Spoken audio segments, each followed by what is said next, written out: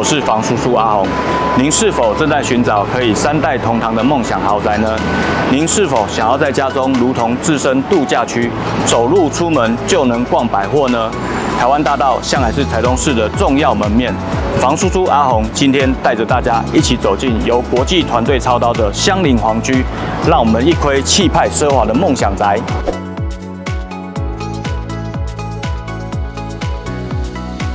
香菱皇居是台中指标性的豪宅建案，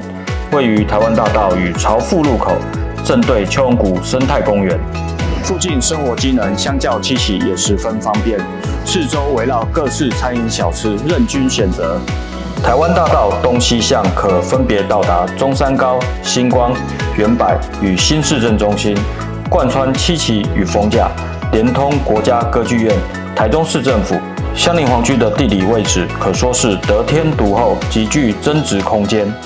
香菱皇居拥有尊荣优势的地段门牌，加上分栋管理、特殊的立面及五大休闲会馆的设计，堪称是台湾大道沿线稀有的高质感社区。香菱皇居基地面积约三千五百平，规划成六大栋，由 RC 钢筋混凝土为主要结构的电梯大楼。楼层规划：地上二十四至二十八楼，地下四层楼，总户数为四百二十二户，车位规划九百一十七个，包含平面六百零三个与机械三百一十四个，公设比约三十一点六趴。社区采分栋管理，每栋都拥有自己独立的迎宾大厅，顶楼规划五大休闲会馆、空中俱乐部。各栋都有风格截然不同的 Sky Lounge，顶楼无边际游泳池、樱花步道、景观健身中心，享受闹区中天地合一、舒畅一天的疲惫。男女三温暖、撞球交易厅、休闲奇异室、钢琴霸区，回家如同徜徉在日月潭寒碧楼大饭店，与世界隔绝，独享属于自己的宁静与尊贵的时分。最后，我们邀请到呃我们的住户谢先生来跟我们分享一下他住进香邻皇居呃的一些心得或者一些感想，来分享给各位。先生，你可以跟我们聊一下，就是您在呃入住香里皇居之前，大概呃看过哪些房子？那为什么最后选择了香里皇居？这样说好了啦，就是说我本来就是生活圈子就在这个区域附近。那对我来讲，这个区域就是逢甲这个附近呢，还有临近台湾大道这个区域哦，生活机能啊，然后呢购物啦，甚至小朋友未来上学学区，其实都非常的完整。那更不用提说公共交通的一个方法，呃，包含就是说公车站呐，然后开车交通的这个方便性，这个区域拥有的便利性实在是非常的高啊。对啊，是。所以呢，看房子的时候，当然对我来讲，我就会倾向说能够在这个区域做这个房子的一个甄选，这个样子。那您大概看过这个区域大概哪些社区？那比较之后啊，为什么最后选择香菱皇居？对我来讲，因为我家里有小孩子，所以呢，我希望就是说，未来住居住的环境哦，能够让小朋友有一个活动的一个空间。好，那所以希望能够家里的面积不能太小。好，那寻找这样子的一个至少中等以上的一个平数的房子的时候，这个附近其实蛮多的一个案子都看过，包括就是我们台中金贵的这个区域，我们也都尝试去看过。不过不管是在价格上面呢，还是说它的一个机能性来讲话，都。各自有各自的优劣。那对我们来讲，我最后选择香林皇居这个地方，除了它的这个机能性都符合我的需求之外，最重要的是哈，啊，也是很感谢这个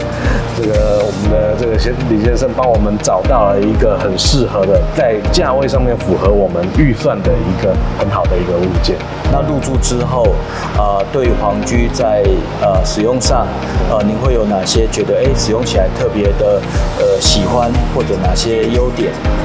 当然，每一个人家庭环境都不一样好，那像我们家里有小孩子，小孩子的反应最直接了。哦，这个地方怎么样呢？就是空间宽广嘛，然后呢也不会有压迫性，包括我们的大厅、我们的一个公设，都非常的像是挑高啦，或者是说光线啊等等，小朋友就会觉得非常开心嘛。那又有中庭，或者是说这个外面步道、走廊这些环活动空间，那小朋友每天就是可以这样跑跑跳跳，哎，他们就觉得很开心。好啊，那对于我们大人来说的话，或者就是我们一般的住户来讲，最重要就是说这个区域它的管理其实非常的不错，它的管制上面有非常的切实的完成它的一个每一个把关的地方哦，所以呢，我们在住起来就相对比较安心，不用担心说会有一些不明人士或者是说一些无法掌控的情况哦。然后呢，我们的公社使用上面也符很符合我们的需求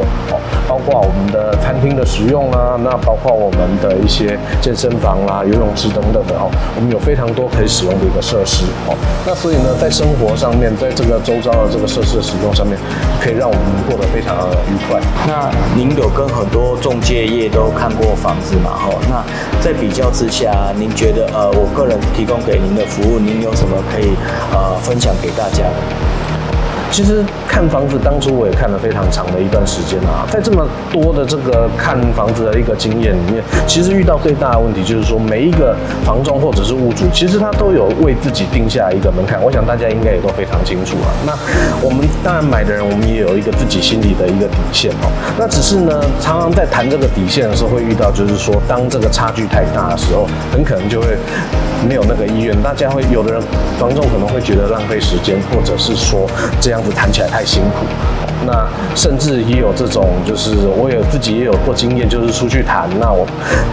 这个中介给我的回馈是相当的负面的，就是觉得我这个样子不要有任何的想机会，没有什么想法。嗯，那只是这次真的是运气不错，遇到我们林先生的协助哦。那在我这样的开价的情况下，同样的开价，别的房仲不愿意替我做这个。